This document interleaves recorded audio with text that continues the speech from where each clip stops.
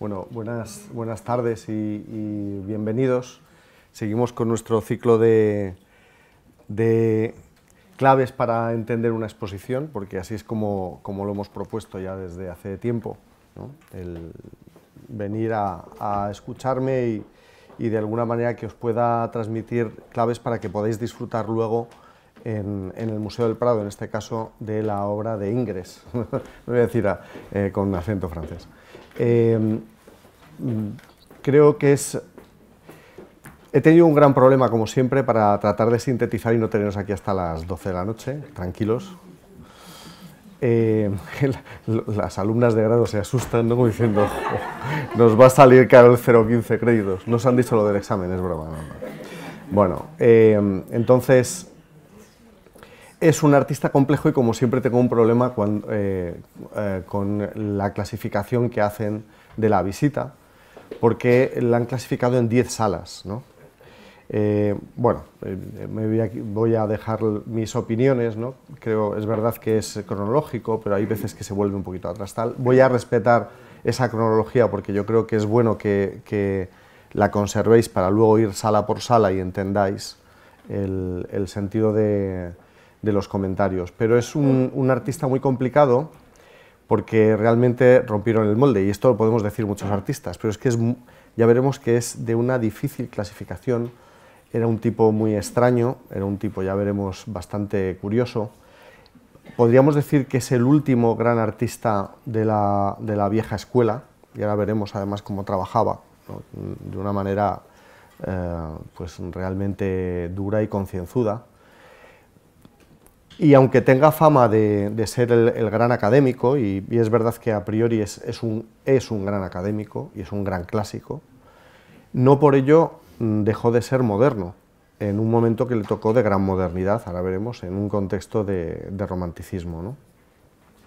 Pero desde luego un artista difícil, tanto en lo artístico como en lo humano, ¿no? y ya veremos que el, de alguna manera le va a condicionar, sus reacciones son un poco a veces tragicómicas, ¿no?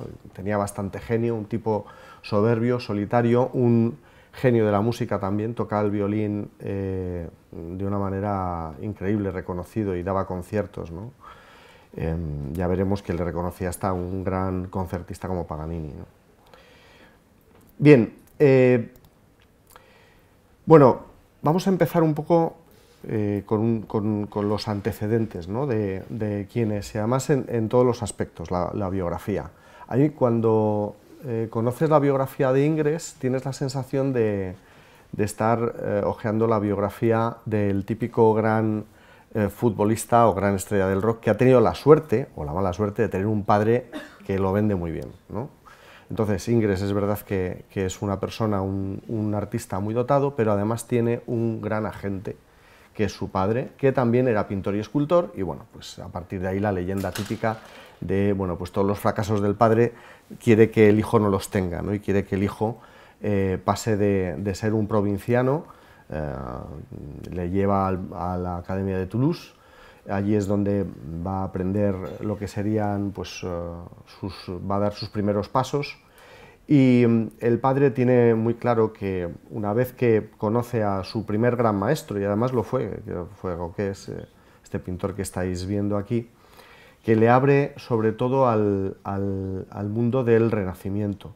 Hay una anécdota que marca al, eh, joven eh, Ingres, tenemos que pensar que, que, el artista se forma mm, en cuanto que tiene uso de razón, ¿vale? con unos 11, 12 años, y cuando él está, cuando Ingres está ya en la Academia de Bellas Artes de Toulouse, tiene 12 años, y Roques le coge eh, bajo su protección. Entonces, hay una anécdota que es realmente preciosa y nos habla además de su vocación y de su sensibilidad, ¿no? que es cuando lleva, eh, o que es una copia de una obra maestra de, de Rafael. ¿no? Entonces, hay una cita muy bonita del propio en la los recuerdos que tiene Ingres de su infancia, ¿no? cuando le preguntan acerca de la carrera de un genio y tal. ¿no? Entonces él decía, una copia de la Virgen de la Silla, traído de Florencia por mi maestro, hizo que se me cayera el velo de los ojos. Rafael me era revelado, rompí a llorar. Esa impresión determinó mi vocación y llenó mi vida. Ingres se refería a sí mismo, bueno, esos sí son los genios, ¿no? que hablan de sí mismos así. Ingres es hoy lo que era el pequeño Ingres eh, a los 12 años. ¿no? el artista que va a marcar la obra de, Ingres es sin duda Rafael, y lo veremos además a lo largo de toda su obra. ¿Qué es lo interesante? También veremos que, sabe, sabe, reinterpretarlo de alguna manera y con, eh, bastante eh, habilidad. Es verdad que mm, va a admirar a otros artistas, ahora veremos, prefiero que veamos una imagen para que lo entendáis, que es un, pintor clasicista, el barroco clasicista francés llamado Poussin, ¿no? y, mm, y, hay una cosa que también en la que le introduce eh, y su padre también, que, eh, que, es muy típico de los cuadros de Ingres, que es el amor por el detalle. Eh, una pincelada ultra detallista que no deja nada desdibujado y que hace que mm, sea pues, un placer pasear los ojos por un cuadro de, Ingres, igual que del maestro, eh, que era Roques, ¿no? porque encuentra siempre pequeñas eh, y agradables sorpresas. Bien, eh, el padre que se mueve muy bien y mm, que era un tipo que tenía también buenas relaciones en Toulouse y tras conseguir varios enchufes consigue que su hijo el, gran artista, la gran promesa, eh, llegue al estudio del gran artista parisino, del gran artista francés de finales del 18, que es Jacques-Louis David. Eh, Jacques-Louis David, que estáis viendo una obra referente de él, ahora veremos otra, que es Madame Recamier, ¿no? Parece ser además que el propio Ingres ayudó a, eh, pintar ese candelabro altísimo que tiene cerca de la cabeza Madame Recamier. Y él entra además en una, en una, academia enorme, porque David es famoso porque tenía una auténtica legión de discípulos. De hecho, son conocidos en la historia del arte como los davidianos, ¿no? y dentro de los davidianos había diferentes eh, familias. ¿no? Ya veremos Ingres un poco, bueno, Ingres acaba, no quiere adscribirse a ninguna, o sea, es otra de las características. Está obsesionado con ser independiente y con aprender de unos y de otros, pero eh, no quiere tener eh, a un, maestro o una adscripción totalmente, totalmente clara. Eh,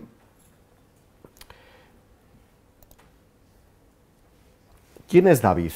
bueno, David, dentro de la historia del arte, es un artista muy importante. Lo más curioso de esto es que cuando yo les hablo a mis alumnos de Jacques-Louis David, al final les tengo que decir, bueno, pues Ingres no tomó nota de nada, o sea, no, no tomó nota de nada o se quedó solamente en lo formal, porque si Jacques-Louis David, su maestro, eh, está en la historia del arte, es porque es el primer gran artista moderno. ¿Por qué? Pues porque entendió una, um, una, una, nueva función para el arte, que el arte no, no tuviera solamente una finalidad uh, estética, que incluso lo que es el canon clásico no tuviera ese sentido de homenaje a lo que es una, belleza eh, apolínea, sino que en realidad estuviera escondiendo una, eh, un viaje a otro tipo de clasicismo, que es el clasicismo que se descubre en el siglo XVIII con eh, lo que son las excavaciones arqueológicas de, de, Pompeya y Herculano,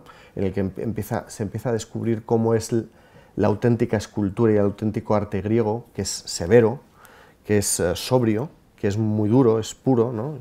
y que no está afectado pues, un poco pues, por esa eh, belleza un poco afectada, ¿no? de, valga la redundancia, del, Renacimiento. También que es símbolo de democracia, David de hecho utiliza el arte como reivindicación revolucionaria. David, este cuadro concretamente es famoso porque tiene un... Eh, eh, un significado político evidente, que es el levantamiento de las armas, la toma de la Bastilla, que lo saben leer los iniciados y que la historia del arte además es, eh, es famoso precisamente por eso, porque es un, arte que tiene una inspiración ética y no estética. Y, eh, por tanto, una finalidad propagandística. entonces, bueno, nuestro amigo Ingres pasa de todo esto.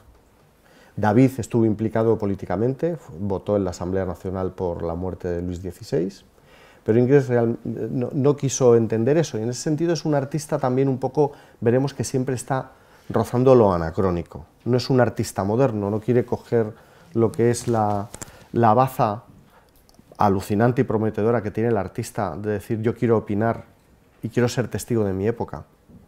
Ingres va a vivir en su capsulita del tiempo. Ya veremos que es una cápsula del tiempo también mm, especial. No es un anacrónico puro, porque si no, no estaríamos hablando de él seguramente. ¿no? Eh, bueno, dentro de, todas las eh, familias y las etnias eh, que había dentro de los davidianos estaban los barbudos, que son muy parecidos a otros alemanes que veremos ahora cuando llegue Ingres a Italia, que son los nazarenos. Y es que en un ambiente también mm, de, modernidad, de cambio, surge también un movimiento en paralelo, que es el romanticismo. El romanticismo, todos tendréis en la cabeza un artista que es, eh, bueno, pues eh, el paradigma que es eh, Delacroix. Bueno, con Delacroix es famosa mm, la, la, pelea, el desprecio que se tiene, Ingres le llamaba el apóstol de lo feo, pero veremos que Delacroix realmente era el que estaba de moda. En una Francia que, mm, bueno, una vez que cae Napoleón en 1815, reivindica un sentimiento típicamente romántico, pone en duda la dictadura de la razón del siglo XVIII de la Ilustración y por tanto ese sentimiento, esa efusión se pone muy de moda, no solamente en los temas, sino también en la forma de pintar, que es una forma de pintar muy libre. Por eso me gusta siempre eh, poner eh, enfrentado lo que es un auténtico ejercicio de perfección académica, como el que hacía Ingres en La bañista Valpinson, ¿no? en la que, bueno, pues si vais al Louvre es una obra pequeñita y salvo que está craquelada, tiene 200 años ya la obra, pero si no, no se nota la pincelada, es una obra de perfección casi sobrehumana.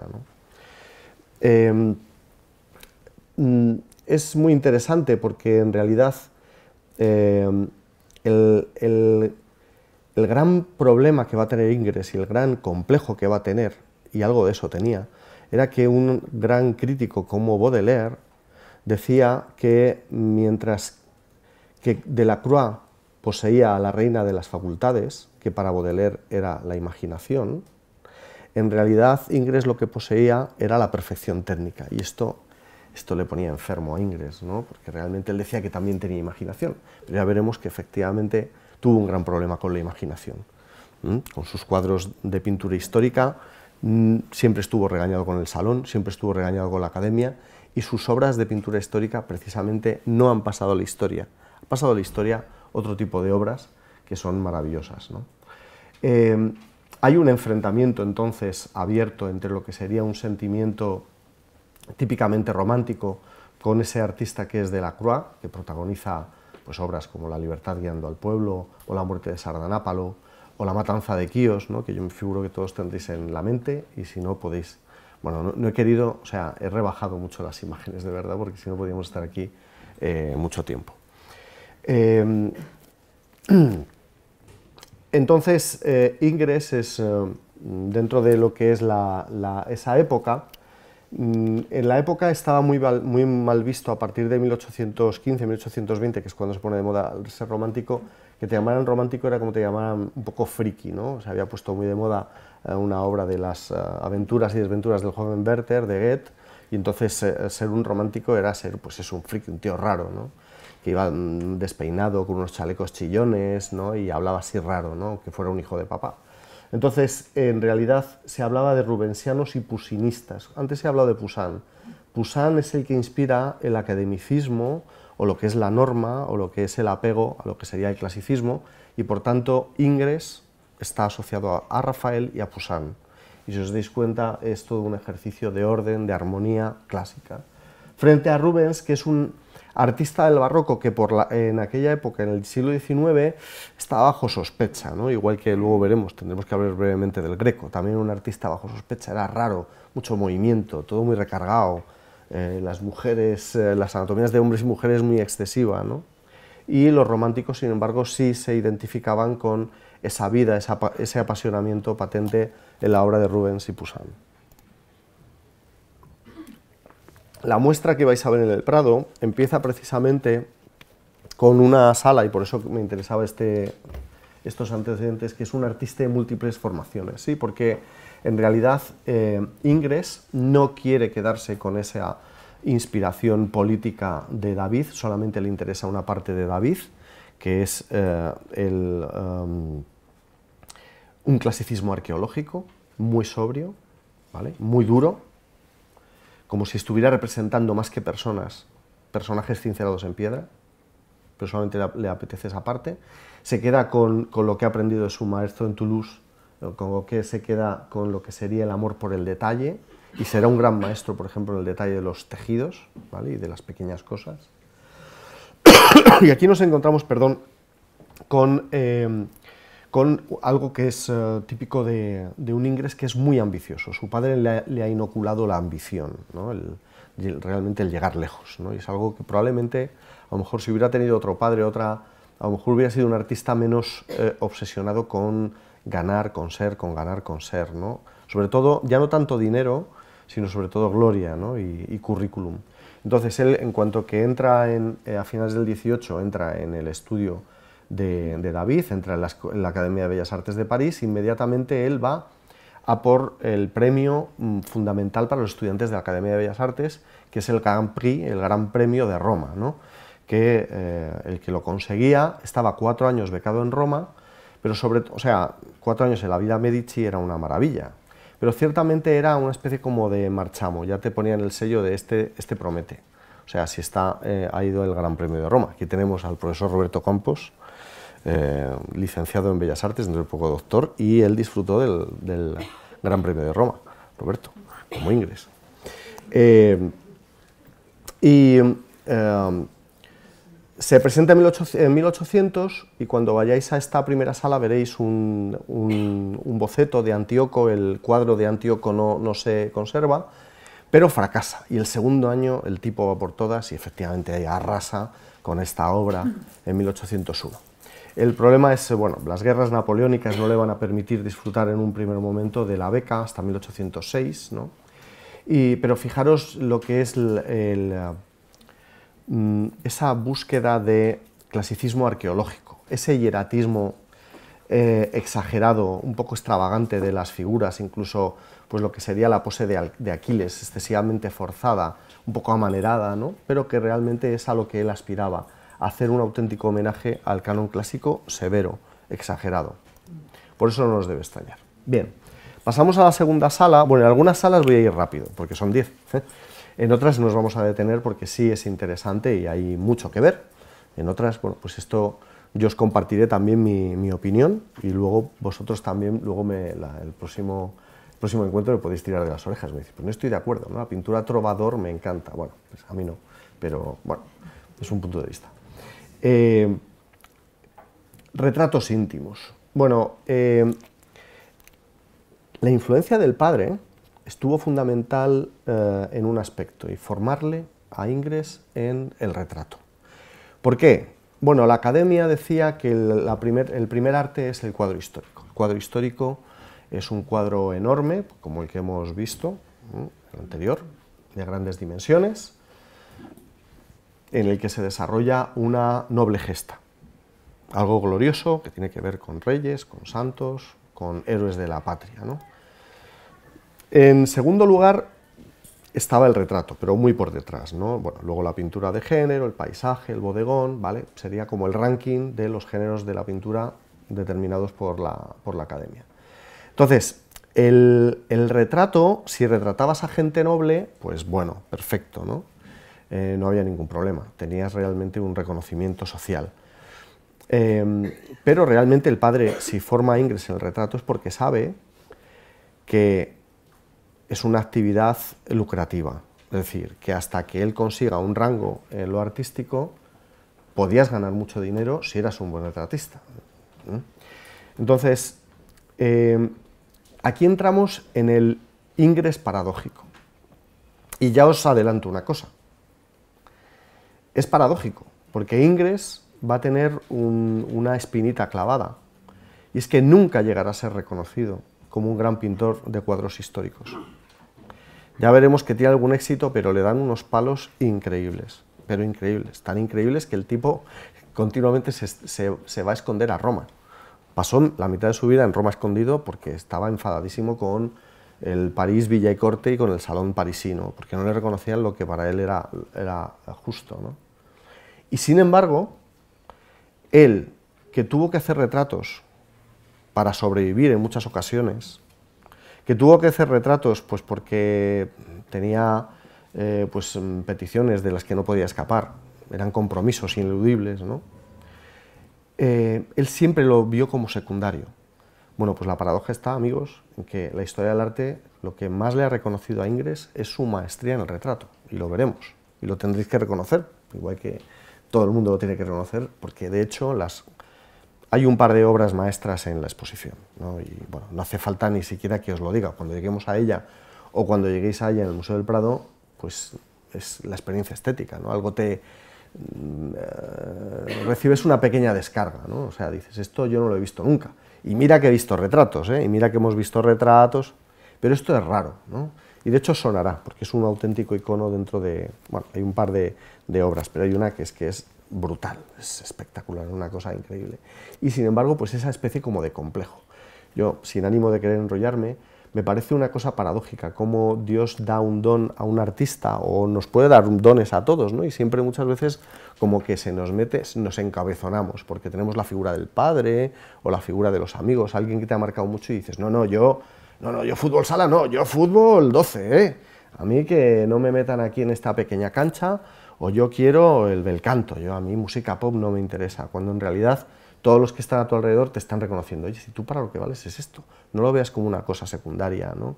Yo siempre tuve la suerte em, eh, de, mm, eh, de, conocer a un famoso fotógrafo eh, francés, ¿no? Y el hombre, pues, em, estaba obsesionado con ser pintor, y la historia le había reconocido su valor como fotógrafo, y antes de morirse el hombre seguía insistiendo que quería ser pintor y que quería, ser pintor, ¿no? Bueno, pues la historia no le ha reconocido el ser pintor. ¿no? O sea que es algo que a mí también creo que merece la pena la, la, vida de los pintores, igual que la de cualquier otro artista, te puede dar lecciones muy interesantes ¿no? acerca de reconocer el don para el que estamos preparados. Ingres estuvo miope, no lo supo ver. Al final de su vida a lo mejor un poco, ¿no? pero en general no. Los primeros retratos ya nos muestran a una persona dotada. ¿Para qué? Pues, pues sobre todo para captar la psicología. Pero hay una cosa curiosa, eh, es, capta la psicología, pero capta el candor, el encanto del retratado a la vez. Y estos primeros eh, retratos son muy sobrios, fondo liso, la vestimenta también suele, suele utilizar, eh, lógicamente el retratado no le interesa que lleve una vestimenta llamativa en esta primera etapa de su vida, ¿no? y le interesa una sobria puesta, puesta en escena, ¿no? No, no quiere llamar mucho la atención, de tal manera que la tez blanca del retratado sobresalga y, veamos la trampa al ojo, esa, esa maravilla, esa sensación holográfica ¿no? de, estar viendo eh, sobre una tela algo que en realidad parece tener tres dimensiones y parece tener vida, ¿no? y nos recorre mm, el escalofrío, es decir, este, esta persona me, está, me sigue mirando después de 200 años. Bien, este, este cuadro no está no está en, en, la exposición, pero es una de esas grandes obras maestras Em, es un homenaje a, su amado Rafael, y es un homenaje a su amado Rafael a partir de retratar a una niña que tenía 13 años entonces, eh, Caroline Rivière. Fue eh, expuesto em, este cuadro y fue criticadísimo porque decían que estaba volviendo una especie como de goticismo muy extraño, que había una cierta deformación en el rostro, no les falta razón, ahora iremos desgranando el secreto de Ingres, ¿no? De hecho, dentro, de la, dentro del arte, y veremos cómo hay artistas que han, han admirado mucho y han repetido fórmulas misteriosas de Ingres, ¿no? pues tenemos que, hablar de, de, efectos ingrescos, ¿no? que tienen que ver con una cierta deformación. Pero es una cierta deformación que en vez de afear lo que hace es dar mayor elegancia, ¿no? embellecer. ¿no? Eh, es un precioso retrato que nos habla además de cómo podía captar la excelencia y, y, la esencia del retratado, porque no parece una niña de 13 años, ¿no? parece algo más, es una dama bella, prometedora. Desgraciadamente también capta la fragilidad. Dos años después de hacer el retrato, Caroline Rivière falleció ¿no? enferma. Eh, pero ya está captando esa enfermedad incipiente que tiene en su rostro y sin embargo sabe captar esa belleza ¿no? totalmente eh, eh, metafísica, no, no, no, en ese momento cuando la retrata con 13 años, la sabe, sabe penetrar en ella. en 1800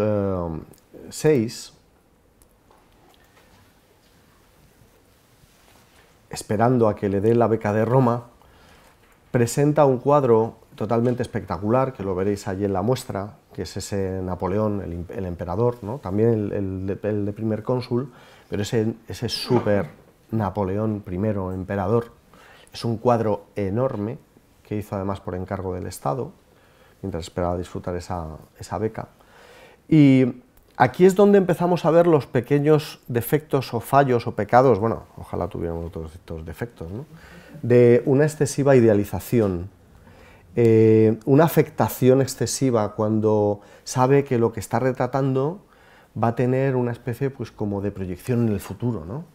Cuando él está haciendo retratos piensa que va a tener una finalidad mucho más mundana, pero cuando hace un cuadro histórico y tiene que venerar al, gran líder, el emperador de, Europa, el nuevo Carlomagno, le empieza a poner gloria, le empieza a poner gloria y al final eh, el resultado es que no les gusta a sus coetáneos, a, los críticos, ni siquiera a los funcionarios, porque de hecho el Estado, cuando este cuadro, los, cuadros eh, que ganan algún tipo de premio, y este lo ganó, eh, los compra el Estado y los suele destinar pues, a unas estancias oficiales bastante dignas. Este directamente lo escondieron en un palacete de tercera, cosa que le enfadó muchísimo a Ingres, pero mucho más le enfadó cuando escuchó una crítica aterradora, ¿no? terrible, que le decían que, bueno, que parecía una especie como del bosco, ¿no? o sea, que decía, bueno, qué rigidez, qué anacronismo tan absurdo, eh, la, cara plana del emperador parece recortada, inexpresiva, ¿no?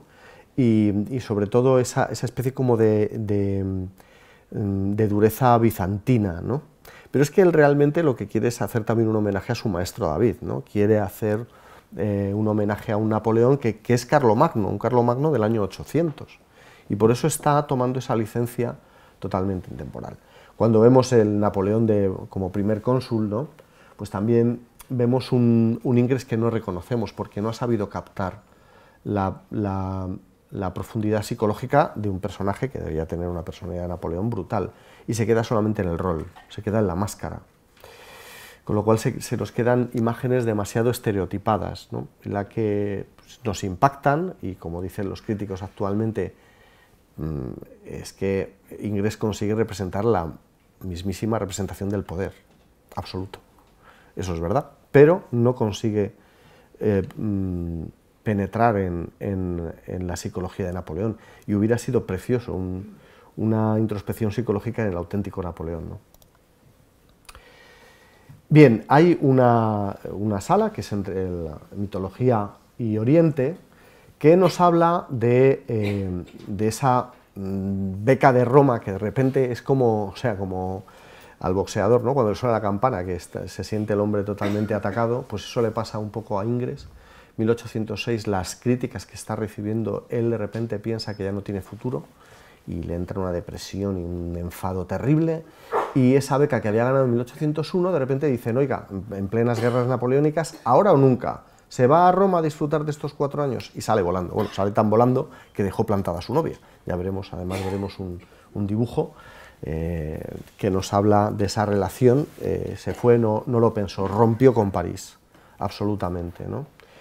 Y allí, en esos cuatro años, eh, se somete a un ejercicio de nuevo de un clasicismo absolutamente puro, con obras mm, espectaculares de gran tamaño como eh, Edipo y la Esfinge, que está en la exposición. La bañista de Valpinson no está en la exposición, está en el Louvre, es una pequeña, es una miniatura, pero es una de las obras que hace como becado y que manda a París.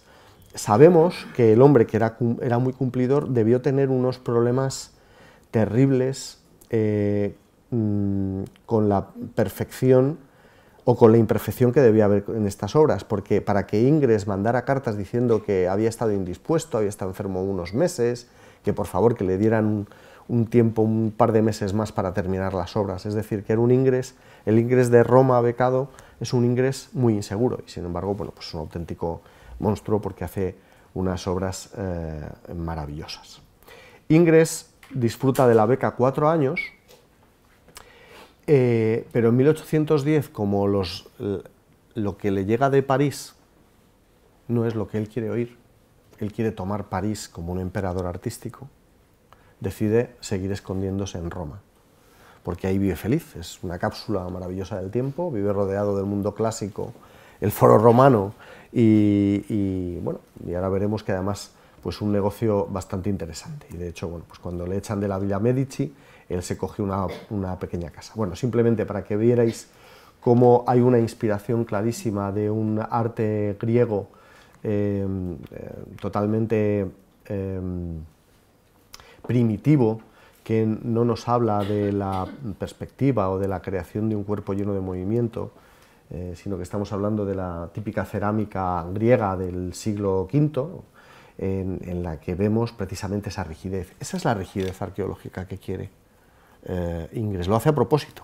Él domina, domina el arte, pero quiere voluntariamente ser así de, de rígido, y por cierto es ahora maestra de la cerámica griega del siglo V, fijaros Edipo, cómo está pensándose, sabéis la pregunta ¿no? que le hace la esfinge, ¿no? cuál es el animal que eh, al nacer anda a cuatro patas, luego a dos y antes de morir anda a tres patas. Entonces eh, es muy interesante cómo el Ingres a la esfinge la retrata con la mirada de saber que va a morir porque efectivamente ve la inteligencia en Edipo, le va a responder, sabe la respuesta, es el hombre.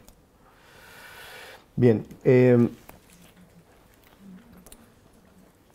hay algo muy interesante y es que a partir de 1810, claro, Napoleón es dueño y señor de toda Europa y nombra a Roma segunda capital del imperio. Eh, no voy a entrar en anécdotas curiosas de Napoleón, que ordenó al, Papa que le fuera coronal, como le, como le coronó a Carlomagno y tal, ¿no? y él, bueno, él acaba tomando Roma y toma el Vaticano y todo, y él no respeta absolutamente nada. ¿Y qué es lo que le pasa a Ingres? Pues bueno, se le ha acabado la beca, pero de repente se llena de funcionarios, se llena de políticos y de gente influyente, gente importante y gente con mucho dinero, de repente Francia toma Roma. Entonces, bueno, pues es una buena oportunidad, no solamente para retratos que veremos, sino también para para encargos realmente espectaculares. Consigue un, encargo muy bueno, que es nada menos que decorar el dormitorio de, Napoleón en el Palacio del Quirinal. El Palacio del Quirinal, el actual Palacio del Quirinal, fue el palacio destinado a Napoleón, ¿vale? cuando iba a visitar Roma. ¿vale? Entonces, en la parte superior, cuando eh, Napoleón se fuera a acostar, iba a ver el sueño de Osián. Sueño de Osián que es, ah, bueno, pues unos poemas eh, de origen celta, de un héroe, eh, un bardo del siglo III, que bueno, luego con el tiempo resulta que era un auténtico fraude. A Napoleón le encantaba, era su lectura predilecta. A los románticos les encantaba, porque bueno, pues era como un poco, para que nos entendamos un poco el, el Señor de los Anillos y tal, ¿no? Pero luego se descubrió que era una, una invención de, un escocés en el siglo XVIII que se lo inventó. ¿no? Es como si nosotros nos enteramos que el cantar del mío Cid se lo, inventa un francés en el siglo XVIII. Nos daría algo, ¿no? Bueno, pues eso es lo que les pasó un poquito corriendo los años. Pero en aquel tiempo estaba muy de moda y a Napoleón le encantaban las aventuras de, esto, de estos celtas tan, tan valientes, ¿no? como Asterix, ¿no? y tenía mucho que ver además con el, nacionalismo eh, francés. Eh, hay un aspecto también, una influencia. Si antes hablábamos de unos davidianos que se llamaban los barbudos, eh, los discípulos eh, davidianos había barbudos, aristócratas y trovadores, o sea, había de todo tipo de, influencias, todos muy anacrónicos, todos querían mirar, volver al pasado, volver a temas legendarios, muy influidos por un cierto espíritu romántico, de alguna manera, y cuando va a Roma eh, Ingres se encuentra con unos tipos curiosísimos, es que tiene una peli, ¿no? Porque eran unos alemanes que eran eh, mm, protestantes, y entonces cuando reciben la, beca en Alemania, descubren el, arte religioso en Roma y se convierten. Y entonces em, empiezan a vestir como Cristo, todos con túnicas, con cuerdas, y se dejan unas barbas hasta la cintura. Eran los nazarenos. Y, bueno, y lo que hacían era, bueno, el líder era Oderbeck y hacían este tipo de cuadros. Unos cuadros que eran como un renacentismo también primitivo, hay entre, es el Giotto ya que está en el 480, ¿no? Hay un poco eh, hacia entre el 300 y el 400, todavía con una perspectiva que no dominan y con una rigidez, pero que les parece muy romántica, muy auténtica, como si realmente estuvieran rechazando la cercanía a la realidad eh, a favor de un, idealismo que transmitiera mejor unos valores eh, que no fueran lógicos, que no fueran racionalistas, sino que estuvieran efectivamente imbuidos pues por la emoción, la leyenda, el cuento. Eh, el cuadro de Osian, cuando, el sueño de Osian, cuando lo ve, es un cuadro logrado. O sea, es un, cuadro en el que Ingres realmente consigue crear la atmósfera del bardo soñando todo lo que es su estirpe y todo lo que son las gestas de su estirpe, ¿no? que es el, el que tenemos en primer plano, que está ahí como soñando encima de su lira. Y de repente esas formas que no sabemos si son humanas, si son marmóreas, ¿no? y que en todo caso nos introducen en, un mundo que a mí me parece además como muy cinematográfico, ¿no? está muy logrado y es de, gran tamaño. Pero, eh, mm, bueno, todos sabemos cuál fue el final de, Napoleón, realmente estuvo muy poco tiempo colgado en el Quirinal el cuadro, luego acabó por ahí, eh, el propio Ingres lo recompró en, la década de los 30, lo restauró porque estaba bastante estropeado.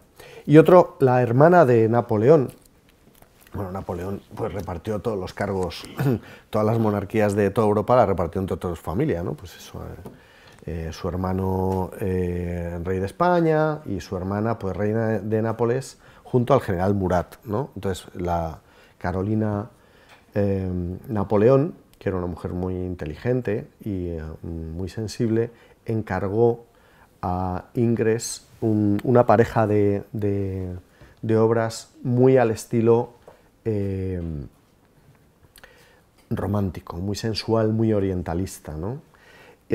Es muy interesante porque la bañista de Valpinson que hemos visto antes es una mujer romana que está bañándose todavía en una terma romana, es todavía clásica, pero ya veremos que la gran paradoja de Ingres es que odiaba a Delacroix, que le llamaba el apóstol de lo feo, eh, decía que los pintores románticos eran una especie como de artistas despreciables, que no conocían la técnica y que por tanto pintaban con esos brochazos rápidos que además les pervertía el color, que era puro sentimiento, cuando en realidad había que hacer un ejercicio de, em, eh, armonía ¿no? mediante el dibujo. Y sin embargo, otra de las paradojas de Ingres, y ya os la adelanto, es que poco a poco vamos a ir viendo cómo, sin querer, pero es que es lógico, o sea, realmente Ingres, ya veremos que vuelve a Roma después, perdón, vuelve a París después de 20 años en Roma, es, claro, es un tipo que ha viajado en el tiempo, y cuando llega a París es como una mosca en un vaso de leche, o sea, llama la atención, porque es el único que defiende el clasicismo. Y lo que está de moda es el romanticismo. Entonces es muy lógico que al final eh, haya un ejercicio de sincretismo y Ingres, el estilo sea muy raro, muy, raro, eh, muy característico, más que muy raro, ¿no? Pero está mezclando contrarios. Está mezclando lo clásico con lo emocional, ¿no? o sea, lo, más racional, lo más lógico, lo que se atiene a una norma, a esa, esa fría escultura de mármol, con el sentimiento, con cierto sentimiento. Y aquí lo empezamos a ver en una obra de 1814 que no fue entendida en su época tampoco. ¿Por qué? Pues porque se está tomando eh, unas licencias que no entienden ni siquiera sus colegas de la academia que son los garantes de las pautas de lo académico, de lo clásico, de la belleza apolínea, del buen Apolo, de la buena Venus. Y ese, alargamiento es tan, tan espectacular, ¿no? y que sin embargo hoy en día lo vemos como una auténtica elegancia. ¿no? no fue entendida en el salón el que se presentó años después, en 1819. De hecho, su gran defensor, que fue Théophile Gautier, que es un famoso eh, mm, poeta francés, siempre defendió, salvo en esta obra, ¿no? que decía, se, le ha ido la cabeza. Esto es, ¿qué es? Pues decía, es manierismo puro. ¿Qué está haciendo eh, Ingres para que lo entendamos un poco? ¿no? Está haciendo un ejercicio de volver al 480, ¿no? de volver, bueno, pues como en este caso a Botticelli. Botticelli con esos, esos estilizamientos tan elegantes, pero de cuellos imposibles finalmente, de mujeres cisnes, ¿no? Eh, que también hemos visto en Da Vinci o que también hemos visto en Ghirlandaio y que por supuesto también lo tiene su amado y admirado Rafael. Es decir, es un auténtico canto y admiración a todo lo bueno que tiene el, Renacimiento, pero con una característica, eh, que es en realidad mm, caer en la exageración. ¿no? Eh, claro, está haciendo un ejercicio de manierismo afectado que nos lleva a una época extraña, curiosa, de finales del XVI en Italia, con obras tan curiosas como las del Parmigianino, de la Madonna del cuello largo, que hoy en día incluso nos sigue pareciendo increíble. Pero es la única baza que les quedaba a artistas del siglo XVI después de haber tenido a grandes maestros como Leonardo, Rafael, Miguel Ángel. ¿Qué es lo único que te quedaba? Pues coger lo que había hecho grande y famosos a estos tres grandes genios y exagerarlo exagerar las musculaturas de la capilla Sistina, exagerar la elegancia de la dama del Armiño, y de esa manera quedaba todo pues un poco extraño.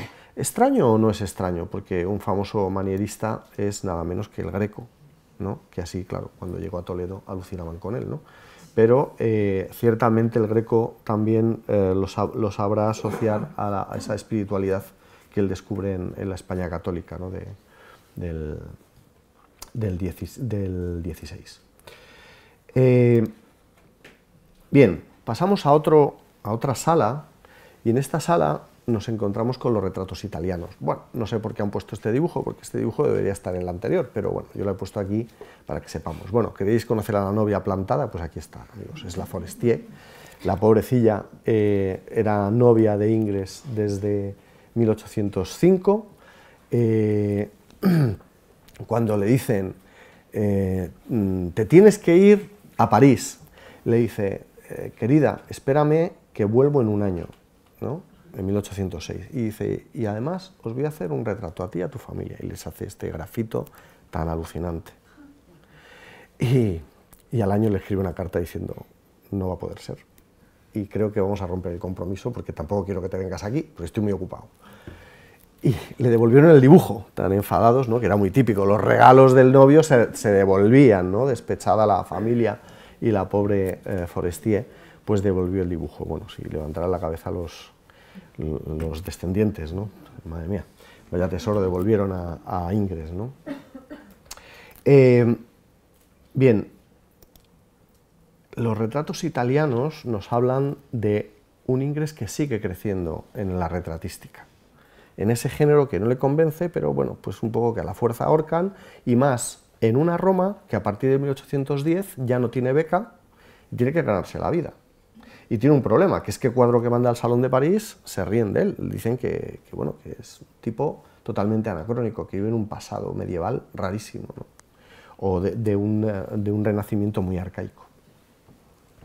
Entonces, eh, aquí vemos cómo eh, se despliega, este es uno de los grandes retratos que vais a ver en la exposición. Mm, yo es de, esos retratos que recuerdo mm, hace ya muchos años, hojeando esos eh, catálogos de Noguer Rizzoli, que eran negros y tal, no sé si los, recordáis, y de repente, pues este, este, retrato a mí me dejó alucinado. Hay uno más potente todavía, o sea, este no es, no es el más potente, el más potente viene después, viene un poco más tarde. Pero es alucinante cómo ha captado la expresión de su amigo, y efectivamente no podía ser más que su amigo. Esa mirada llena de bondad, llena de humanidad, ese gesto, posando, él es pintor, Grané es pintor, es un trovador, es de la, eh, del grupo de los trovadores dentro de los davidianos, él está en, Roma con su amigo y le retrata con la ciudad eterna al fondo, o sea, le está contextualizando. Es un, un retrato lleno, no sé, es que a mí, mm, yo os tengo que que interpretar las obras, pero es que hay obras que, es que me avergüenza hasta interpretarlas, es que la ves y ya te ha ganado, porque tiene una entidad, tiene una humanidad, tiene una presencia que no la olvidas, es, mm, inolvidable. ¿no? Y allí es donde eh, él va a desplegar pues una auténtica eh, fábrica de retratística. ¿Por qué? Bueno, le va a ocurrir una cosa curiosa. Al principio son todos los franceses que viven allí, porque Napoleón es rey y señor de Roma. ¿no? Y entonces, bueno, pues hace pues a amigos, conocidos, Paganini, el, gran violinista, ¿no? que le hace un retrato, Por cierto, hay una cosa curiosísima, ¿no? porque Paganini es famoso por la perfección que tenía tocando el violín. Se sabe que él llegó a tocar cuartetos de Beethoven eh, con, el propio Paganini, ¿no? o sea que, era un gran pintor, un gran violinista.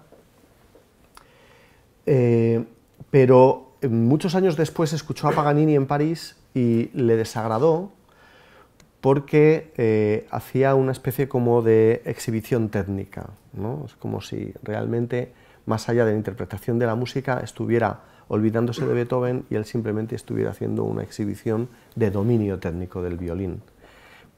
Curioso que lo criticara porque en realidad el, pecado de Ingres en muchas obras es precisamente esa, obsesión por la perfección.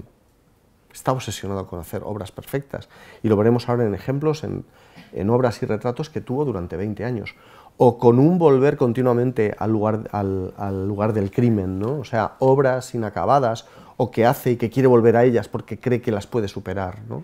Entonces no deja de ser paradójico. Por otra parte, la ternura, la, maravillosa expresión de esa niña adoptada de unos amigos, ¿no? cómo capta en unos retratos con los que se ganaba la vida pedía unos, eh, unos pocos francos, eran, sabemos que las sesiones eran de unas 3-4 horas, eh, tenía, eh, a, mitad del retrato estaba pactado que él tenía que almorzar, tenía que tomar fuerzas para seguir concentrado, no es una cuestión de la mano, es una, una cuestión de concentración, de ver continuamente la relación que hay entre la frente, los ojos, la nariz, el sombreado, y con unos lápices de grafito totalmente afilados, ¿no? con los que si os dais cuenta, como de repente hay unas incisiones muy severas para crear la sombra o lo que son las sombras de los ojos y la captación, sobre todo, fijaros qué maravilla, ¿no? cómo capta el, movimiento de, esa niña, ¿no? es realmente increíble. Como increíble es, y, hay que reconocérselo, o sea, si, o sea vamos a ver, eh, este hombre era un, grandísimo pintor. ¿Por qué lo, desde que era un, gran retratista lo vemos en los dibujos. Eh, por cierto, que tiene una anécdota eh, de, lo malhumorado que, era y, el mal genio que tenía. ¿no? Mm, porque a él le enfadaba mucho que le reconocieran solo como retratista y, o que le reconocieran solamente como gran dibujante. Y entonces, de hecho, bueno, tiene grandes retratos de dibujo, tiene grandes retratos pintura, pero claro, las pinturas tardaban un poquito más. Entonces, eh, Cole es un famoso pintor francés eh, romántico, visita Roma, visita a Ingres, empieza a ver su obra y le pregunta por los dibujos. Y le dice Ingres, sí, está en ese cartapacio. Y de repente abre el cartapacio Jerry Cole, toma asiento y está ahí una hora, dos horas. Y de repente entra otra vez al taller Ingres y le empieza a insultar. Ahora mismo se va usted de aquí y tal, pero usted qué se ha creído. O sea, viene aquí, o sea, viene aquí a insultarme, a quedarse con lo que es eh, un ejercicio de estudiante. El hombre se veía afectado porque realmente a los artistas lo que le gustaban eran los dibujos, donde demostraba una gran calidad, ¿no? una gran soltura. Y otra anécdota divertida es que, claro, cuando se van los franceses, cae Napoleón y eh, empiezan a llegar ingleses, han reconquistado Europa, y entonces vuelven a hacer el Grand Tour. El Grand Tour es lo que hacían los franceses también, pero sobre todo los ingleses, es muy famoso, que era pues la gente noble de la aristocracia, cuando, cuando llegaban a la, mayoría de edad y tenían una cierta formación, los padres pagaban a los hijos pues, para que recorrieran lo que eran los orígenes de la civilización occidental, iban por Grecia, iban por Italia, y entonces, eh, de alguna manera, eh, se... Eh, se formaban y se educaban, veían el mundo, era el gran tour para los ingleses, muy importante. Entonces, claro, llegaban a, Roma, un buen dibujante, decían ingles, entonces un inglés tuvo mala suerte, encima pues manejando un francés muy malo y tal, llama a la puerta, sale inglés y le dice, ¿vive aquí el dibujante de los pequeños retratos? Y le dijo, aquí vive el pintor de los grandes cuadros, y le cerró la puerta ya está. dijo, hoy no como, pero este no le hago yo.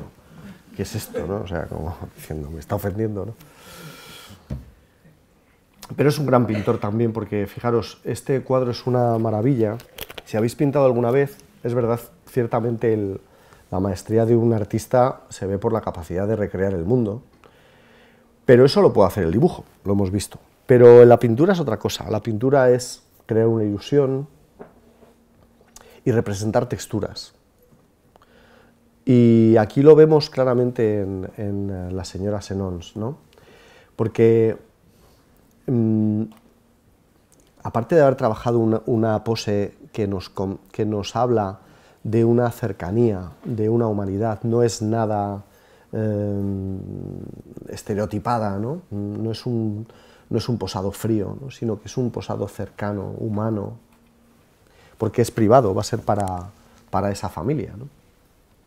Pero fijaros qué pedazo de reto, eh, cómo consigue pintar el terciopelo rojo, con la textura que es terciopelo rojo que, se puede tocar, cómo ha conseguido pintar lo que es el encaje y la transparencia en el cuello y en el pecho, cómo la tela eh, blanca que sale en las juntas del vestido, que es raso blanco, cómo ha conseguido también la textura del raso blanco.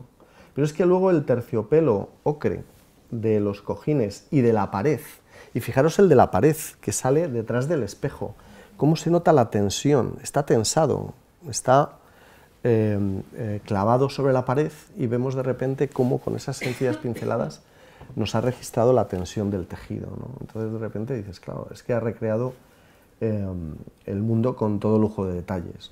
Es un pintor eh, alucinante.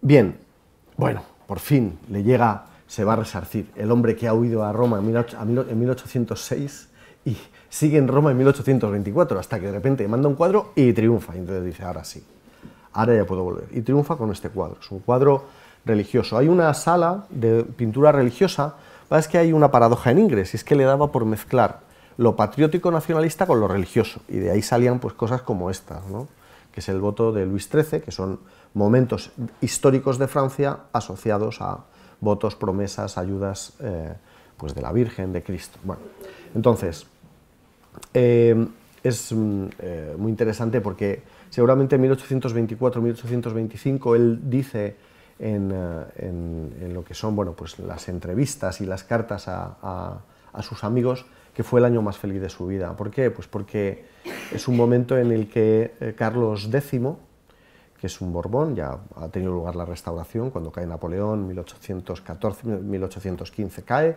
restauración eh, Luis XVIII, muere Luis XVIII en 1824 sin descendencia y sube al trono su hermano Carlos X de Borbón.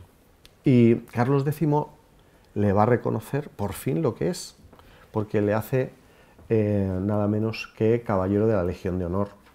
Y además le hace, eh, poco después le harán también miembro de la Academia de las Bellas Artes, académico, perdón, académico de las Bellas Artes. Con lo cual, de repente, él, para él, 1824-1825 es un momento, mm, marca un hito, ¿no? un antes y un después.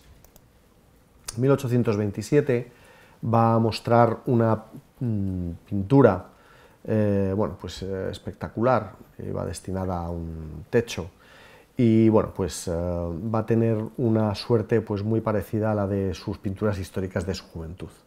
De repente lo que sí le han reconocido en el voto de Luis XIII a la Virgen, pues no se lo van a reconocer, por cierto, que he pasado muy por encima por este cuadro, que es una maravilla y que además crea todo un tipo de imagen de, de Madonna rafaelesca, claro, porque en este cuadro él lo que está haciendo es un auténtico homenaje a Rafael y al, Renacimiento. Volveremos sobre ello, ¿no? porque tiene una imagen de la Virgen que será muy reproducida. De hecho, sabemos que el, fervor popular, el fervor eh, católico francés va a reproducir muchísimo esta imagen y muy concretamente el de la, el de la Virgen con el niño, ¿no? un niño que da gusto verlo, ¿no? Eh, gordito ¿no? y lleno de vida. Bueno, esto es un, homenaje pues, a, lo que es eh, el fundamento mismo de su obra, Homero como el origen de la cultura occidental, eh, racionalista, ilustrada, y bueno, pues pone ahí a todo lo que son pues, los, grandes representantes de la cultura que beben también de esas mismas fuentes. ¿no? no va a tener mucha suerte. De hecho, es muy curioso y bueno, no he, querido poner la imagen para no confundir a nadie, pero en ese mismo año, en 1827, causa mm, gran estupor una obra que es de Delacroix, de su enemigo, que es eh, La muerte de Sardanápalo, ¿no? Eh, que es una fantasía legendaria de un reyezuelo que ordena matar a sus cuadras reales y a su harén, ordena ejecutar a, sus eunucos que las corten el cuello, las, una obra que no está comprendida y es todo movimiento, es la danza de la muerte, ¿no? la danza de la sangre, son todos rojos, son entonces de repente cuando vemos esta obra, ¿no? que es todo mm, armonía, eh, todo perpendicularidad respecto al, al, rubensianismo, a ese movimiento de, de la Cruz, nos damos cuenta que efectivamente este hombre estaba tratando de introducir una cuña donde ya no entraba, ¿no? que era un, excesivo clasicismo. Ya no se lo creían. Cercanos a la década de los 30, los, el público parisino ya está en otra onda. Entonces, el gran problema de Ingres es que ha estado escondido demasiado tiempo en Roma y cuando vuelve a París no le entiende nadie. Dicen, pues estás poco de modé, ¿no? Estás pasado de moda. Bien, pasamos a la quinta sala, que es la que os decía yo, bueno, pues la, la pintura trovador, ¿no? Eh, pinturas de pequeño tamaño, eh, de, temática eh, que tiene que ver, bueno, pues también con temática medievalista, que es muy del gusto del, romanticismo. Y entonces, bueno, pues él ha tenido a su amigo Granet, el que hemos visto retratado en Roma, y no le importa, tiene ahí un, una obra pequeña, de hecho cuando paséis por esa sala veréis que hay muy poquita obra, pero de repente nos damos cuenta, eh, cuando comparamos al Ingres eh, retratista de Madame Senons, ¿no? que es una maravilla, que es una exhibición de belleza, de elegancia, de introspección psicológica, frente a eh, esta obra ¿no? de Francisco I, acoge los últimos suspiros de Leonardo da Vinci. ¿no?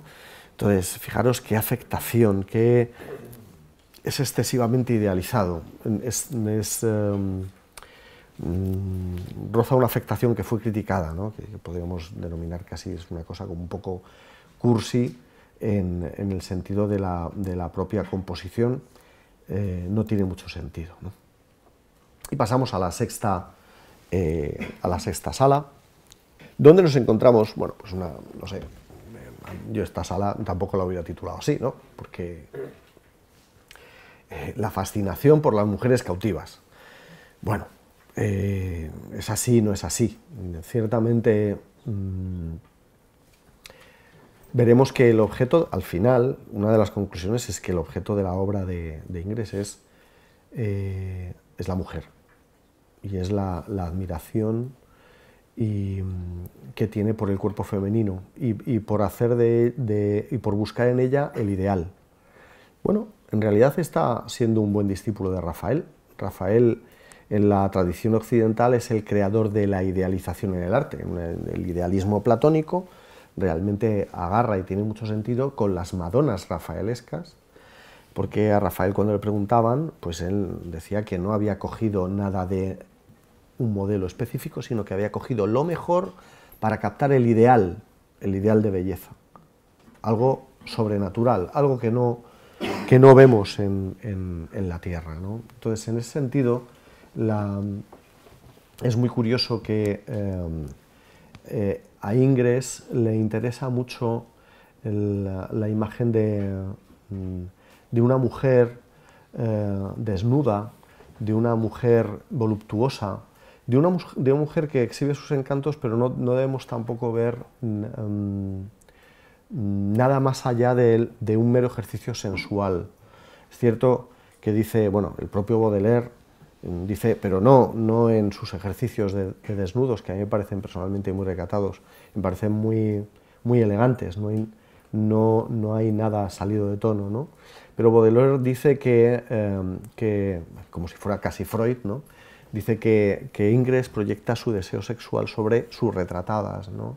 porque se ve que esa obsesión por representar la textura de su piel, los pliegues, incluso ya en las telas ¿no? que, de, la de los ropajes, pues que nos hablan de, ese deseo sexual. Yo personalmente está, em, bueno, pues, em, Repito que, esta sala no, no, me parece bien resuelta. Es más, en el propio catálogo, cuando te lees el texto del catálogo, tampoco queda resuelto el, propio título de, la fascinación por las mujeres cautivas. ¿no? Parece que está escondiendo algo así un poco, mm, eh, extraño. ¿no? En todo caso, sí es una paradoja que me figuro que os sonará lo que estáis viendo aquí, que es la bañista de Valpinson. Bueno, la bañista de Valpinson veremos que mm, estaba solita al principio, en 1808. Por cierto, que se llevó, o sea, la bañista de Valpinson fue denunciada por sus amigos eh, académicos de la Academia de Bellas Artes de París, porque, y esto es sencillo de hacer, proporcionalmente esta mujer tiene una, o tiene una cabeza muy pequeñita, o tiene una espalda imposible, y efectivamente los académicos expertos en anatomía artística decían que a esta mujer le sobraban tres, cervicales, concretamente, que no podía ser. ¿no? Tengo una anécdota, por cierto, pequeño, hace muchos años, eh, eh, dando clases en comunicación visual, me acuerdo que lo comentaba a los alumnos, sí, hombre, pues el, el cuello ingresiano y tal, ¿no? que son cuellos exagerados para dotar de mayor elegancia y belleza a la mujer y tal. ¿no? Me acuerdo que una chica levantó la mano y dijo, mi, mujer mi, madre tiene ese cuello. Y yo dije, bueno, pues ok, ¿no? Y al día siguiente trajo una fotografía de la madre y todos tuvimos que reconocer que su madre realmente era una auténtica modelo ingresiana, tenía un cuello bastante largo y elegante de cisne, ¿no? Pero bueno, que no es lo habitual, realmente está haciendo un ejercicio de afectación eh, imposible. Pero fijaros cómo esta mujer, que al principio estaba en una terma romana, eh, con un claro eh, referente al mundo clásico, eh, un desnudo de espaldas bastante púdico, de repente empezamos a ver que se empieza a llenar de gente. Pero aquí no acabó la historia. Esperaos al baño turco, porque eso está hasta arriba de mujeres, ¿no? Es un harén hasta arriba, ¿no? Y con, tocando la lira y todo, un ambientazo increíble, ¿no? Porque aquí vamos viendo cómo Ingres se va contaminando sin querer de lo que sería ese sentimentalismo y esa sensualidad típicamente romántica. Y él continuamente vuelve a modelo, fijaros, 1828, o sea, han pasado 20 años, pero esperaros, porque el baño turco es de 1862, o sea, más de 50 años después vuelve todavía, medio siglo después, vuelve todavía al lugar del crimen, vuelve todavía a la obsesión que tiene por ese desnudo y lo introduce en un ámbito que veremos que es totalmente romántico. Bueno, cuestiones legendarias, eh, eh, con lo que es el, el que es eh, liberando a, Angélica. Bien, en la sala 7, mm, claro, pues nos va llevando por, por, el camino de comprender que al final el propio Ingres, claro, ve que es que su público le demanda como retratista, para enfado suyo, ¿eh? porque a él le, ya hemos dicho que no lo tiene nada claro. Le ocurre una cosa curiosísima, este hombre tenía muy mal perder, ¿no? y no tenía espíritu crítico. 1824 hemos dicho que fue un año para él maravilloso, 1824 y 1825. Pues ahora os enseñaré un cuadro, lo enseño rápidamente, un momento. 1834 presenta este, al Salón de París, le pone la crítica a escurrir, le ponen pero verde, de anacrónico, que qué está haciendo, que esto es un 480 pero de segunda calidad, que para eso nos quedamos con el original. Le, llegan a ridiculizar. Pues se enfada, habla con un par de amigos influyentes y en 1834 se va a Roma y se va a ir a Roma cinco años. No, perdón, se va a ir a siete años, hasta 1841, porque consigue el cargo nada menos que de director de la Escuela de Bellas Artes en Roma, para dirigir lo que es a los becados de Roma, como él fue años atrás. 1834-1841, escapa de París, se enfada con París y se va. Entonces, bueno, años atrás, eh, en, 1814,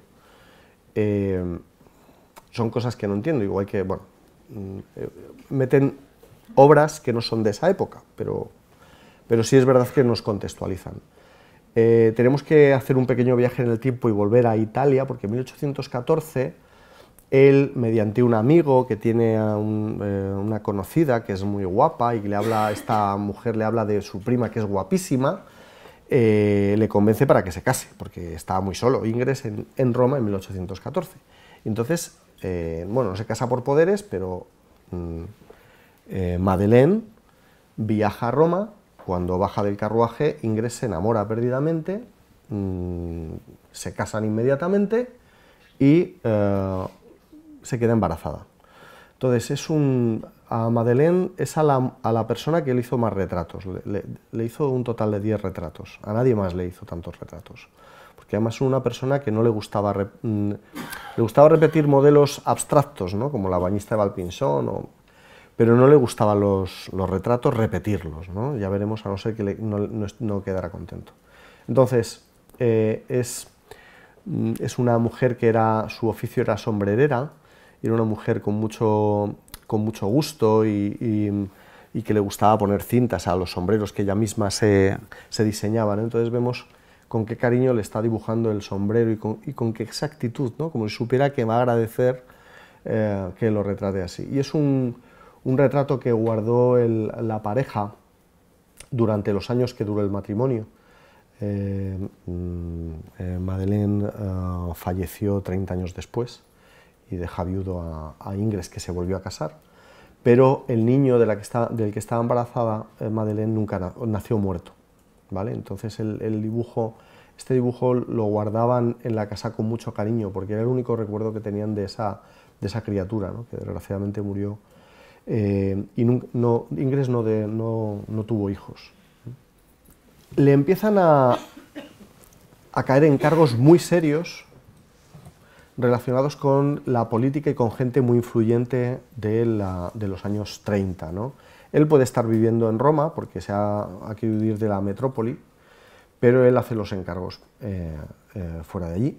Y son encargos eh, pues muy, muy importantes. ¿no? Eh, le van a visitar, bueno, pues, eh, concretamente, ¿qué podemos decir de, de Pastoret? ¿no? Que es un, es un advenedizo, es un burgués que ha comprado el título, su padre, y entonces él está recién llegado a la aristocracia, han comprado con dinero el condado, y vemos a un pretencioso, vanidoso, o sea, realmente ha sabido captar esa especie como de soberbia y a, su vez vacuidad que tiene el personaje, ¿no? que nos parece un poco, tiene, tiene un punto como miserable, ¿no? que no, no nos gusta, no nos cae bien, y lo capta perfectamente, ¿no? y además con la propia pose, ¿no?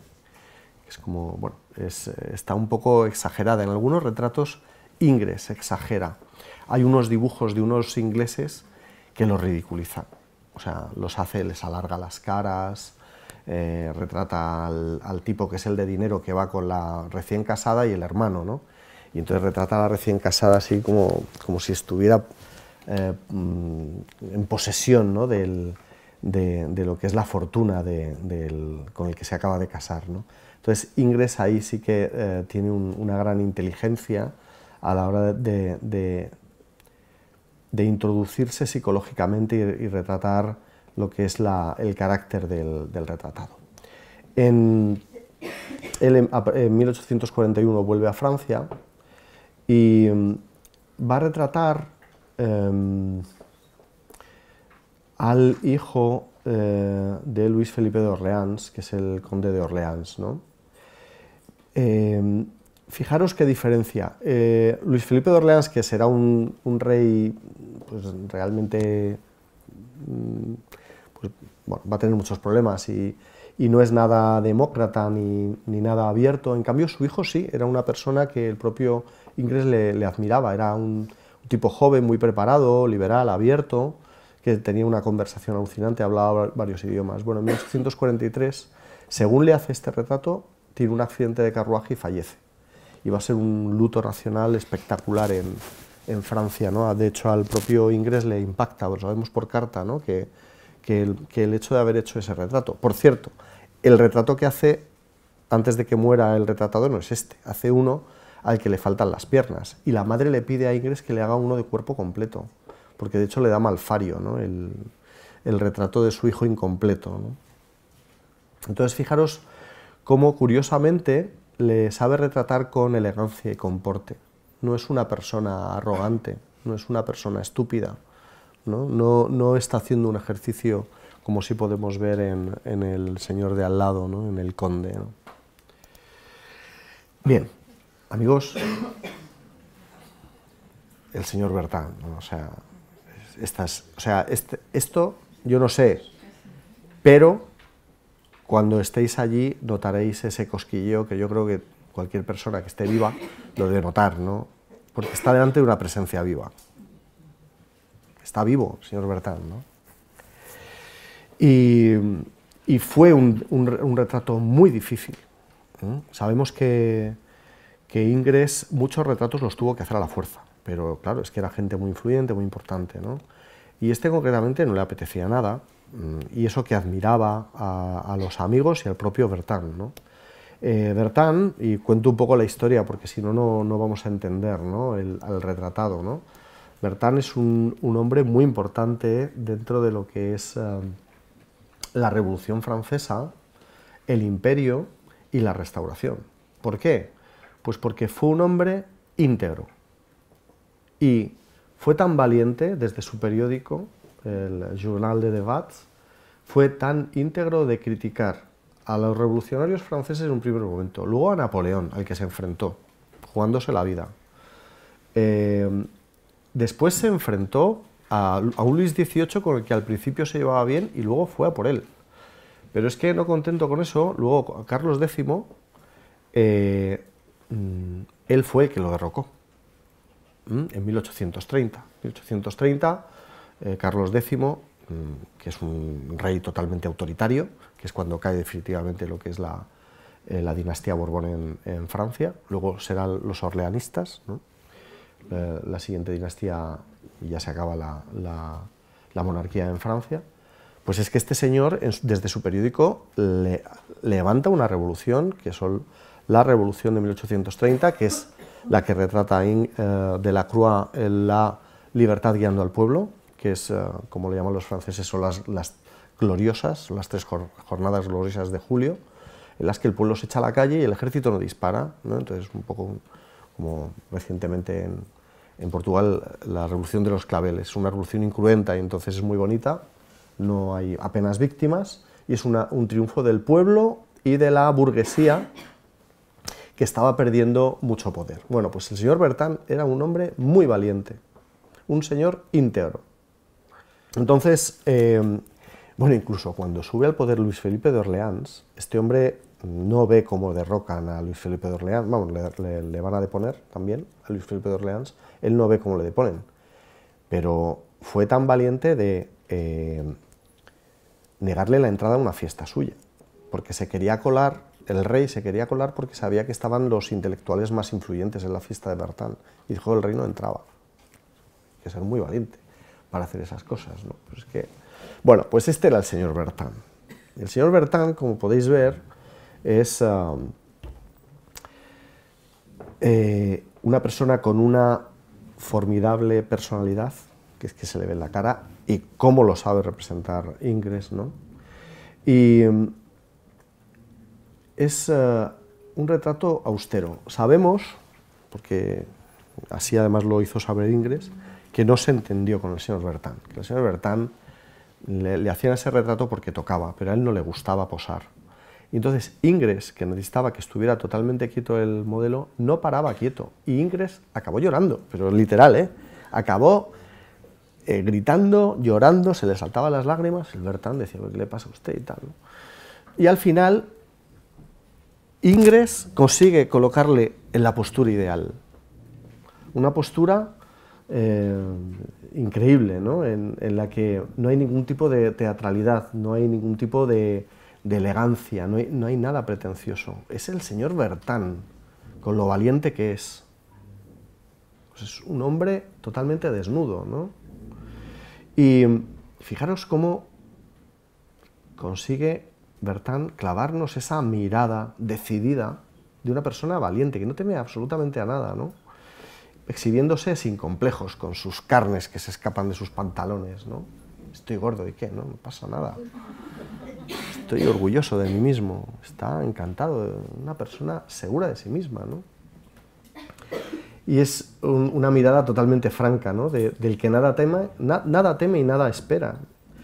en realidad, Ingres, en este, o sea, este retrato es tan famoso porque está retratando no solamente a un tipo, a una persona que existió, respiró y, respiró y vivió, sino que está retratando a un arquetipo, ¿no? Que es el, del, hombre moderno, ¿no? con un pensamiento independiente, que reconoce que tiene conflictos interiores, que no es perfecto, que tiene defectos, ¿no? y escéptico ante el futuro, que es una característica también del, hombre eh, moderno, ¿no? que no, termina de creerse ¿no? la, felicidad. Em, claro, al final te das cuenta, y no es por casualidad, Ingres admiraba mucho a Balzac y su comedia humana. De alguna manera tenemos que conceder a, Ingres la capacidad de haber pintado la comedia humana que escribió eh, Balzac retratando a la sociedad post-napoleónica, ¿no? que es lo que hace también Ingres, ¿no? de una manera eh, increíble. Bueno, este es el cuadro que, dijimos que el hombre está pintándolo, no sé cuándo, no recuerdo ahora mismo, estuvo pintando varios años el cuadro. No, o sea, no había hecho más apuntes, los apuntes son preciosos para esta obra, unos apuntes preciosos, si queréis ver manos, escorzos alucinantes, ved los apuntes del, martillo de San Sinforiano. Y eh, claro, al final mm, es un cuadro que, que no, eh, no, va a tener nada. Por cierto, no, es, perdón, no está en la exposición, ¿eh? El martirio de San Sinforiano, pero es un hito en su vida y en su, en su carrera. ¿no? El cuadro que sí está, eh, que es enorme, es este cuadro de, Jesús con los doctores. La madre del, del malogrado conde de Orleans, que muere joven en el carruaje, como hemos visto antes. Eh, bueno, mm, sabemos que o en, 1843 o sea, el impacto de la opinión pública por la muerte de este chico, que además tenía, mm, o sea, iba a ser, se iba a proyectar como el, la, la, gran esperanza de, la, de, una monarquía parlamentaria, ¿no? Eh, crea una oscuridad y un pesimismo en Francia terrible. Entonces la madre la, reina María Amelia va a encargar a, Ingres un cuadro religioso de grandes dimensiones eh, para ponerlo en un, templo que van a levantar en el lugar donde falleció el conde de Orleans. O sea, imaginaros una cosa brutal. Entonces, eh, el tema que le propone eh, la reina es ese momento recogido en el Evangelio en el que Cristo se pierde en el templo y de repente lo encuentra la Virgen entre doctores, ¿no? Entonces, bueno, pues es, es eh, esa especie como de, deseo ¿no? proyectado sobre el Evangelio, sobre las Escrituras, ¿no? de volver a reencontrarse con un, con un hijo transfigurado como transfigurado el, rostro de, de Cristo. ¿no? Y ¿Cuál es el resultado? Es espectacular, pero ciertamente yo os tengo que llamar la atención sobre una cuestión en los cuadros religiosos de, Ingres. Ingres tiene un problema, porque la temática religiosa en el 19 está en horas bajas. La modernidad, por modernidad, por definición, rechaza la tradición académica. Eh, por pensamiento ilustrado, mm, eh, es anticlerical y además no le interesa ya algo que está hablando de algo dogmático. desgraciadamente, lo que sería el género religioso va a entrar en, eh, unos momentos bastante críticos de, debilidad. Solamente salvados pues, por gente como los nazarenos, ¿no? que hacen unos cuadros muy interesantes que tienen que ver con la fe que viven. Pero estos alemanes son de principios del siglo XIX. Lo que es la mitad del XIX va a ser, y todo el, eh, resto del siglo XIX, va a ser muy triste eh, porque los artistas van a tener una pérdida de fe importante. Ingres, sus cuadros son eh, a veces excesivamente pretenciosos. De hecho, este cuadro fue muy criticado porque quiere ser un, eh, un cuadro renacentista, pero al final, cuando veáis este cuadro, a mí lo que me da pena es que es todo tan perfecto que, es un cuadro frío, cuando en realidad la historia debía estar llena de, ternura también, ¿no? de, Cristo hablando entre los doctores. Y al final se le queda la arquitectura todo tan encajado, todo tan frío, todo tan calculado, que echas de menos eh, la psicología, la ternura, la ternura que hemos visto en la niña que, que poseaba con el corderito, o la introspección psicológica de Bertán, me da igual que sea eh, eh, una imagen religiosa, la hace un estereotipo demasiado frío. Pero es verdad que este cuadro, este cuadro fue muy criticado por la academia, pues, pues puesto de nuevo, o sea, otro palo más para el hombre que veía que no triunfaba como pintor de cuadro histórico de grandes dimensiones. Pero con el cuadro que se iba a triunfar es con, como cuadro devocional, con esta Virgen adorando la Sagrada Forma. ¿no? Eh, va a hacer hasta cinco copias, va a haber una demanda increíble por parte de muchas iglesias en, Francia. Se va a reproducir eh, en, grabado de una manera pues, como, como estampas, ¿no? como estampitas. Y, aquí sí vemos la monumentalidad rafaelesca ¿vale? en este cuadro lo que no hemos visto a lo mejor en el, martirio de San Sinforiano o en el Jesús entre doctores, ¿no? de repente sí vemos algo de, gracia, de elegancia. ¿Por qué? Pues porque sabemos que en realidad nuestro amigo Ingres ha echado mano de qué cuadro? Pues del voto de Luis XIII, ese cuadro que le lleva a la fama en 1824.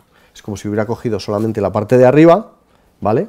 Y en este caso le quita al niño y deja a la Virgen tomando un modelo de Madonna típicamente rafaelesca y ahí triunfa, ahí se encuentra realmente con el triunfo. Bien, bueno, últimos retratos femeninos, ya, ya terminamos. es que el, final tiene que ser o sea, el, final nos tiene que llevar a una conclusión. ¿no? Eh,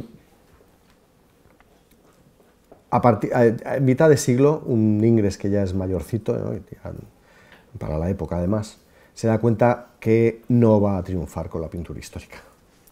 No tira la toalla, pero él ya es consciente. Entonces es muy curioso porque empezamos a ver en su obra eh, unas características que vuelve efectivamente a obras de la juventud, ya os lo he adelantado, como la bañista.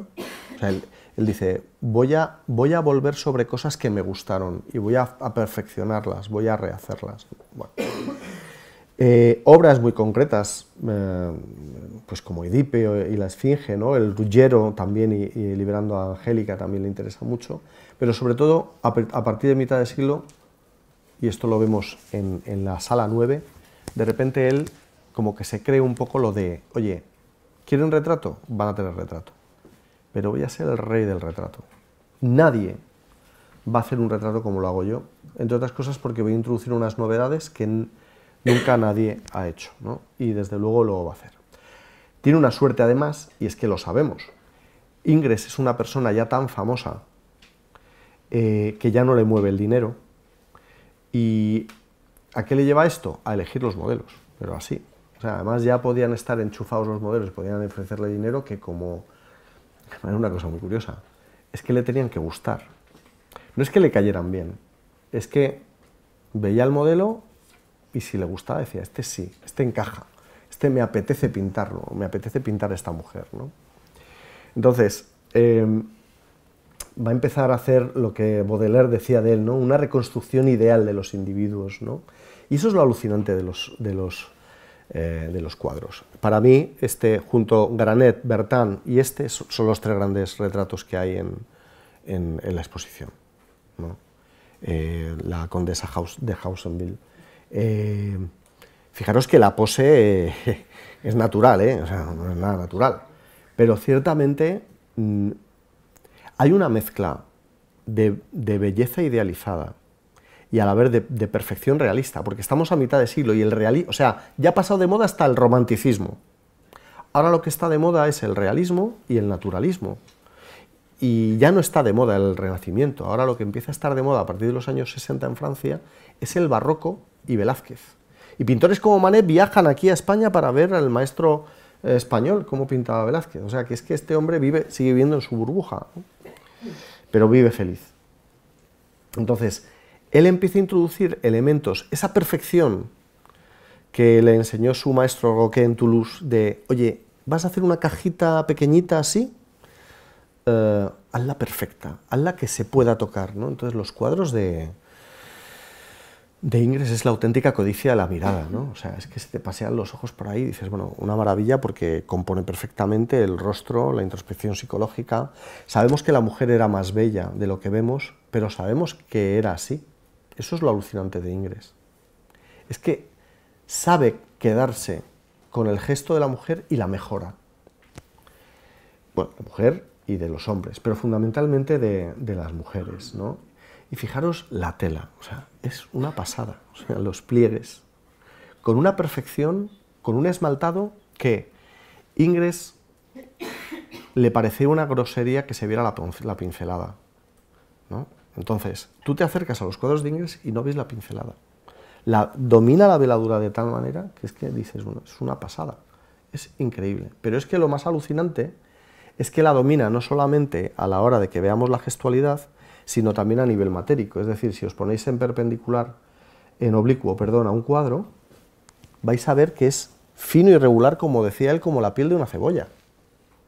Pues es contención, es orden absoluto. Bien, aquí hay una cosa divertida, ¿no? que nos habla de esas manías raras. ¿no? Esta mujer eh, era, no, no podía tener más enchufes. Y él no la conocía, pero no quería pintar el retrato. Y de repente un día la conoce y no es una mujer eh, guapa, pero de repente le convenció porque decía que tenía una terrible y bella cabeza. Una cabeza grande, no es una mujer bella, pero tenía unas facciones duras como, como si estuvieran cinceladas en piedra. Y entonces le interesó. Dijo, pues la pintamos. ¿no? Pero eh, es uno de los ejemplos de de indefinición y de duda sistemática de un pintor que cuando no alcanza la perfección tira la toalla. Dejó el cuadro dos veces. De hecho, eh, en 1851, cuando, cuando la familia Moitissier le suplica que a ver si acaba el retrato, y él dice que no le gusta y que no lo va a entregar, y que no le gusta, y que no lo acaba y que no le gusta, le dice, bueno, pues le hago otro. Y entonces hace el de 1851 y ese lo hace en unos meses. De repente ahí le gustó. Pero era un hombre que este, eh, elegía lo que se ponían, la escenografía, el interior, un interior típicamente burgués, de, la alta burguesía, y buscaba siempre una atmósfera que a él le convenciera. No era lo que se quisiera poner la, la, mujer, él ponía las condiciones. Y es muy curioso porque al final, en 1856, y con, parece ser pues, con la ayuda de algunos de sus ayudantes, termina la señora Moitessier, que bueno, pues también es de, una perfección terrible. Y llegamos ya a la 10, amigos, ya terminamos, diciendo que, bueno, terminamos no, pero casi, ¿eh? ¿eh? la última sala que es desnudos suntuosos, pues sí, aquí de repente, amigos, la bañista de Valpinchón, que estaba solita en 1808, está en una auténtica fiesta, en el harén argelino, en el harén eh, romántico. De repente el clásico está totalmente contaminado y encantado con esa fiesta y con esa voluptuosidad, con esa eh, mm, eh, fiesta para los sentidos, ¿no?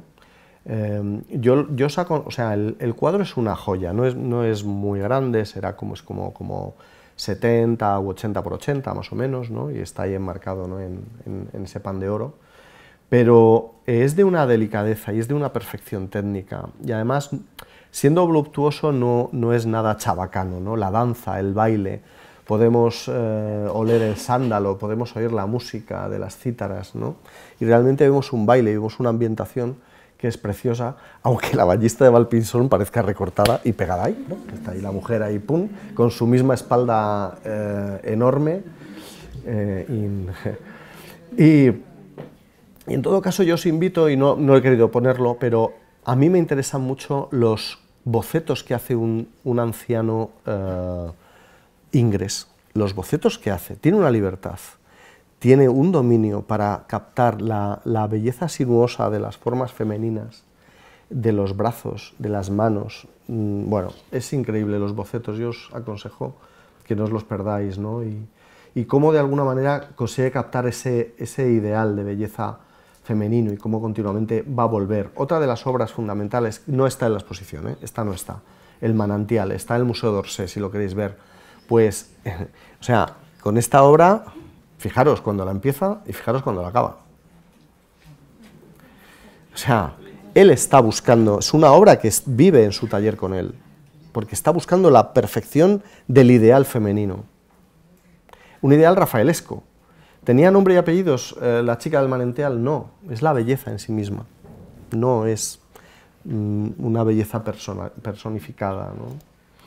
Y simplemente deciros que la semilla de Ingres es muy potente, es muy poderosa, porque eh, inspiró a grandes artistas modernos de la vanguardia, fundamentales del siglo XX, como Pablo Picasso, que tiene una etapa ingresiana, justo después del, desarrollo del cubismo, que es lo que los críticos llamaron involución o vuelta al orden, que los críticos en el siglo XX no entendieron cómo hacía esa burrada Picasso, pero Picasso quería volver a la belleza del ideal femenino de Ingres. Y entonces, bueno, pues uno de los retratos de su primera mujer, la de Picasso, de Olga Koklova, pues un ejemplo, ¿no? Este eh, Madame de Bossy no está, en, el, no está en, el, en, la exposición, es otro de los grandes retratos de Ingres, ¿no? pero no está en, la exposición, ¿no? pero bueno, para que veáis cómo, bueno, pues uh, el, uh, toda una serie de grabados y una época está marcada por la formación. Al final con lo que nos quedamos es eso, ¿no? vemos al final lo que hacía el, maestro de Ingres, David, estaba cincelando en piedra a una mujer, pero era una mujer de la que no podíamos decir nada, sino simplemente que la había convertido en romana, revolucionaria. ¿no? Cuando vemos a, a, su amigo Graneo, a la condesa de Hausenville, pues nos recorre un escalofrío, ¿no? porque sentimos que estamos delante de, personas vivas, que amaron, que sintieron. ¿no? Muchas gracias.